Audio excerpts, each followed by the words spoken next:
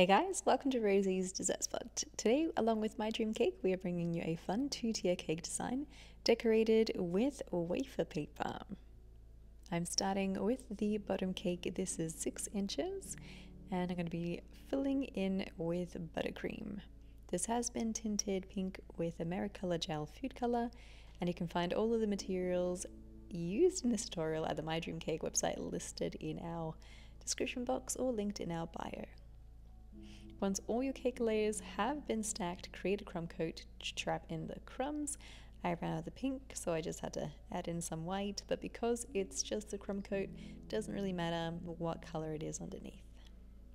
Smooth it out, drag that top lip towards the middle, and then repeat with your top tier. I am going to set it in the fridge for about 20 minutes. And in the meantime, just stacking, crumb coating, and then dragging that top lip towards the middle. After 20 minutes, your buttercream should be nice and solid to the touch. You can go on ahead with that final layer of frosting. We're using buttercream. I like to use a vegetable shortening based buttercream for that super duper white finish. You can microwave it for a couple of seconds to make sure that it's all nice and smooth and without any little air bubbles clear up the sides and the top and then back into the fridge she goes to set for another 20 minutes. With the top tier, I repeated the same thing, but I popped it into the freezer instead and it stayed there for about half an hour. In the meantime, we can prepare our decoration. This is wafer paper and I'm going to be cutting them down into six centimeter sized squares or thereabouts. Once that's done, I'm going to grab a steamer. This is a cake steamer, and we're just going to be turning it on, waiting for it to boil. And once it does, we're going to very carefully steam each square just until it's flexible. You don't want to work too close to the steamer or you will burn yourself, so be super careful with this.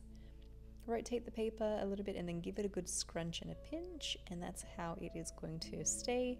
And then when it dries, it dries hard again so it maintains its shape really well. From here you want to use your airbrush, this is also from My Dream Cake, and the airbrush colors by Americolor. I'm going to give them all a rough spray in blue and then I'll pick each one up individually and try to aim for just the edges so that it's a darker shade along the outside and then a general blue on the inside and back. Pop those aside and then add in your bubble tea straws or your wooden dowels into your cake. I have three in a triangular formation. These are inserted to support the weight of our top tier. Because it's been in the freezer, I can very easily pick it up with my hands and just pop it on top.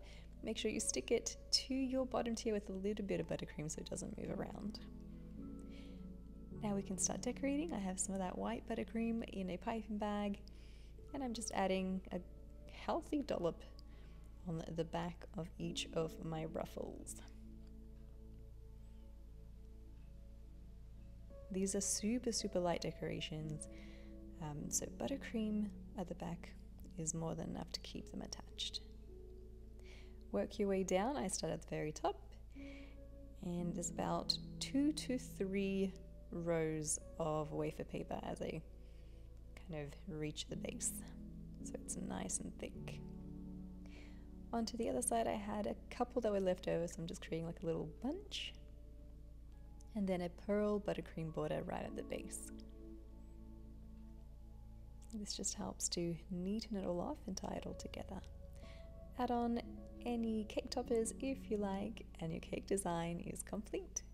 Hope you guys enjoyed this tutorial and try it out. It is a lot of fun and super duper easy, especially when you're coloring wafer paper with airbrush color.